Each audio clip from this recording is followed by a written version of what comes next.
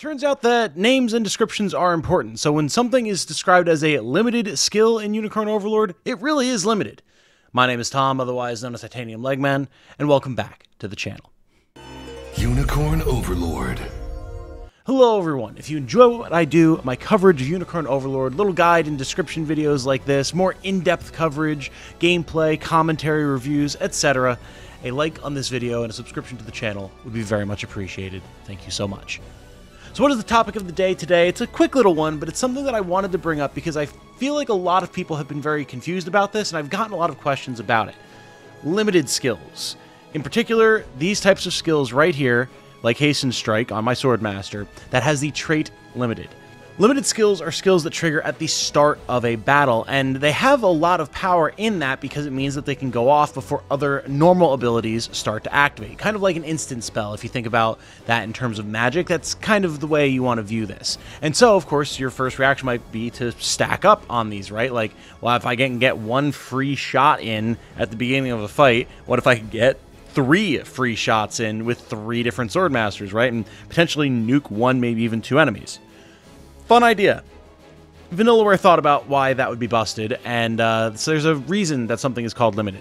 If a skill is limited, that means that only one skill of that type can activate at the beginning of a fight. This means that one hasten strike, two hasten strike, three hasten strikes, doesn't matter. Only one of them will trigger.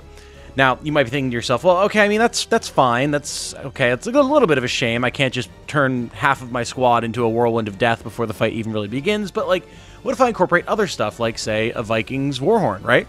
That's a limited skill. It'll trigger at the start of a battle.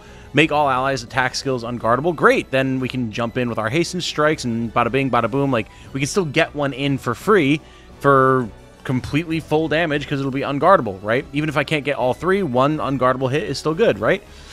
Not quite, because just the fact that it's a limited skill means that you can still only trigger one of them. It's kind of a big deal. Let me show you. We'll prove this right here. We'll jump into a mock battle really quick. This is something that is very easy to lose track of. It can be very easy to forget that a skill that's starting at the beginning of a battle is probably going to be a limited skill. We'll load in here with our Swordmaster squad against this squad with Amalia at its head, and we'll show exactly what happens here. And this will be interesting because you'll see that even if you can only use one limited skill at the start of a battle, there's a lot of things that can happen. So the enemy Swordmaster triggers his Hasten Strike.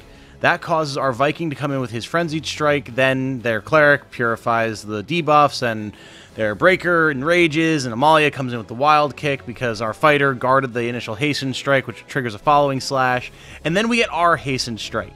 So there was a ton that happened there. You'll notice none of our guys use any of their other limited skills because they can't, right? Only one is allowed to activate, and it's going to be the character that has the highest initiative. But the power of these limited skills is that you can trigger all of these extra effects off of them. Just one hastened strike on the enemy team caused a chain reaction of skills between both of our teams here that set off an entire grouping of attacks. And that is really cool. And it's part of the reason that a limited skill is, you know, limited. You're only going to be able to use one at the start of a fight because otherwise, imagine how you'd just be chaining stuff together forever, right? It would be insane. But so you can see here how this is important to keep track of because again, like there's a lot of lost potential. Part of the advantage of Swordmasters is that they can jump in at the start of a fight and get that free hit in. It's not the only thing that they're good at. You can make a squad of Swordmasters work. In fact, this squad actually only has one Swordmaster using Hasten Strike in a normal combat situation. I just put a bunch of limited skills on here to show you guys that it doesn't work, right? Because I do think that is important information to have when you're putting together a squad. Also, the Swordmaster squad gets absolutely bodied by Amalia's team, but that's kind of part of the nature of the way her team is set up, so I'm not particularly bothered about it. Um, but then the question might be, right? So, how do you want to incorporate limited skills into your squads?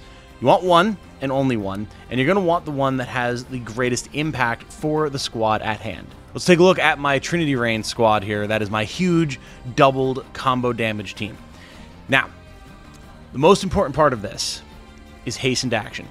This is something that we have on Renee the Sorceress using Lip's Ring. It is a limited skill. It activates at the start of a battle, and it grants an ally max initiative for their next action. Cannot target self. I have this set up so that it targets our back row unit with the least initiative. So Luana the Were Owl has 40 initiative. Valerie has 16. We want Valerie to be able to get instant initiative because of the fact that she has the Millennium Scepter and Trinity Rain. We don't actually need this focus site here.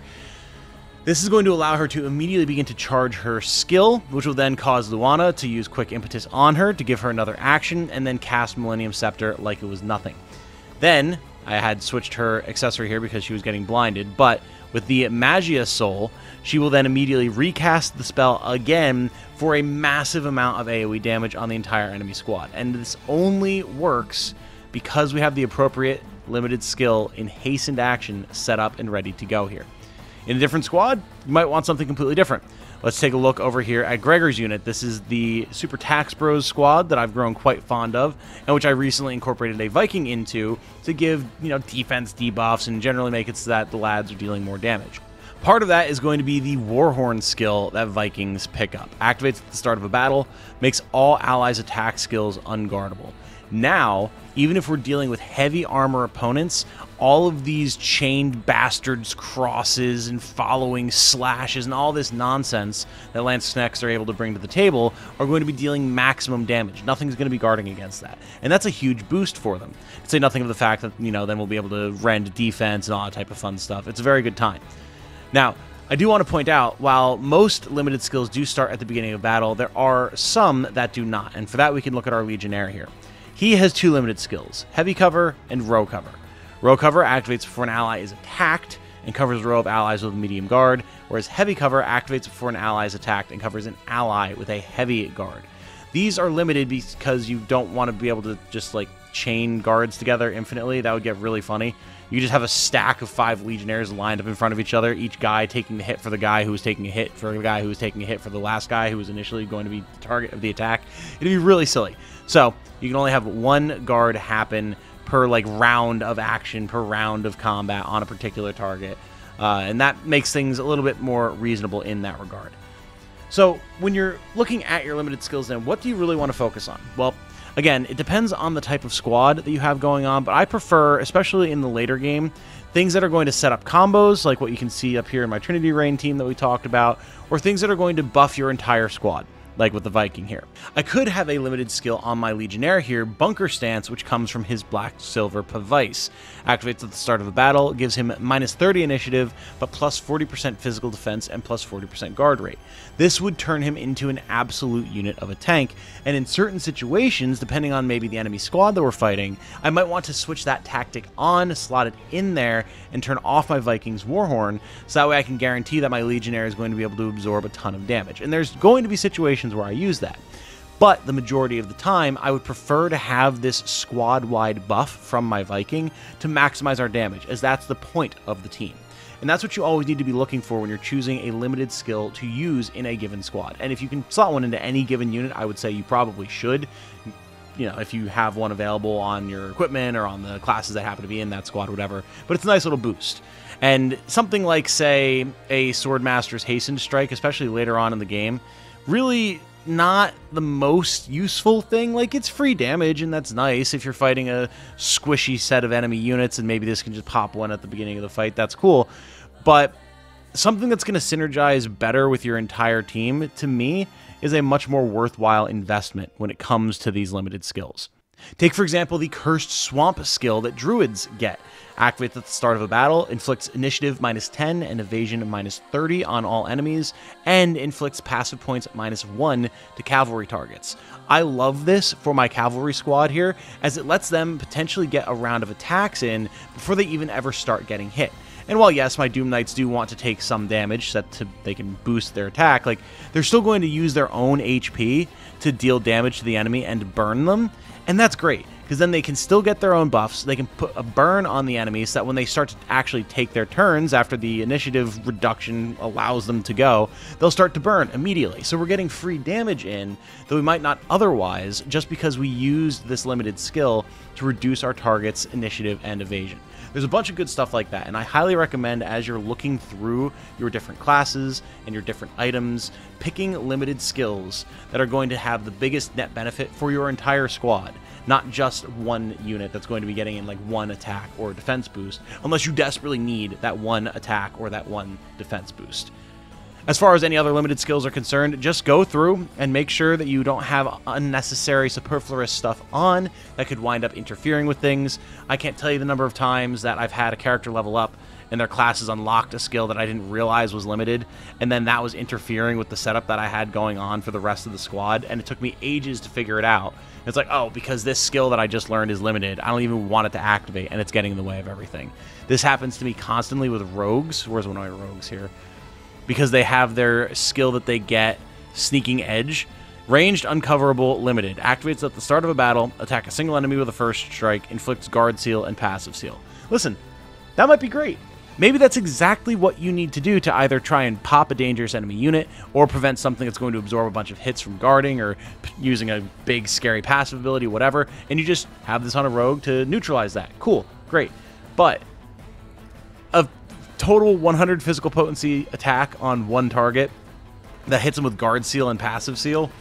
Not the most powerful thing, especially when again you consider it like Warhorn or Cursed Swamp or anything like that. It's a little bit more niche, but it can get in the way of the way your squad is supposed to function. So keep an eye on your skills as you're unlocking them, and if something is a limited skill, make sure that you don't leave it on if it's going to conflict with something that you're relying on to make a unit work the way that you want them to work. With that said, though, that's pretty much all there is to talk about on this one. Keep an eye out for limited skills, pick the ones that are going to be the most efficient for your units, and maybe once I've cleared one run of the game and I've got all the classes at my disposal, I can do a video talking about every limited skill and where I think you should use them, or maybe do a tier list about them, something along those lines. I just want to wait until I have access to all of the classes before I try to start putting something like that together. But if that's something you'd like to see, let me know in the comments down below. Let me know your thoughts on limited skills in general, what ones you like and dislike, and I hope you look very much forward to my next video. It should be the next episode in the comprehensive class overview. That's actually what I was planning to have out today, but I couldn't quite get the script done in time, so I pushed it back, and we're talking about limited skills instead. My name has been Tom, otherwise known as Titanium Legman. Thank you all so much for watching. I hope you all have a good night. Stay safe and healthy out there, and remember, be good to each other. Bye now.